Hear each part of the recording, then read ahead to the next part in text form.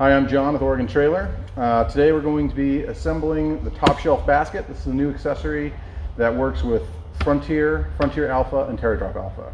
Uh, different versions, but uh, very similar in their effect. This one in particular is for TerraDrop Alpha. So we've got a stack of parts.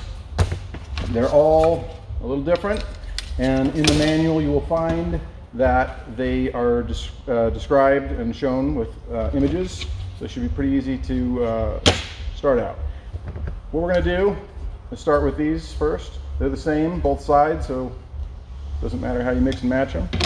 Um, first, we're looking for this piece. Very similar to this one, without the little clips at the bottom. So this one was without the clips.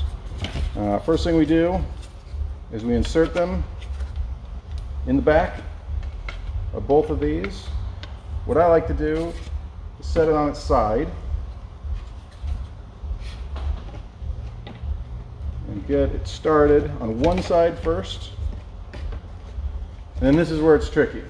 What we need to do is get an angle on these parts so that they land like this.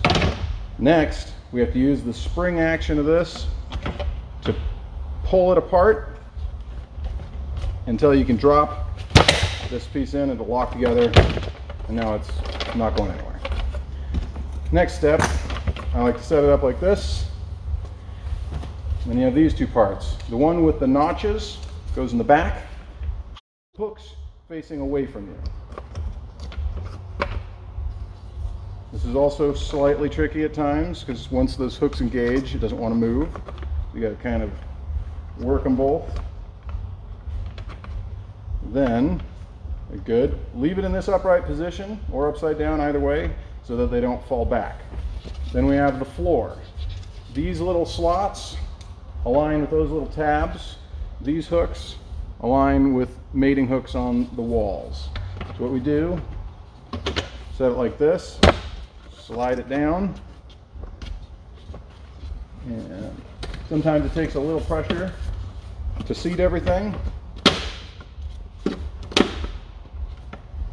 I like to next step put the clips in here. The slots align with each other. You're going to pull the little spring clip up so that it seats. Now we have the dividers. There's little spots in the back I take these little tabs and then these notches align with these parts.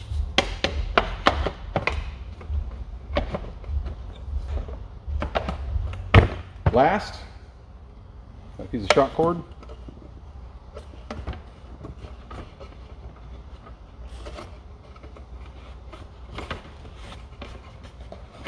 And that's just to give a little tension to your parts that you put inside. And that's it. That's how you assemble a top shelf basket. Thanks for watching.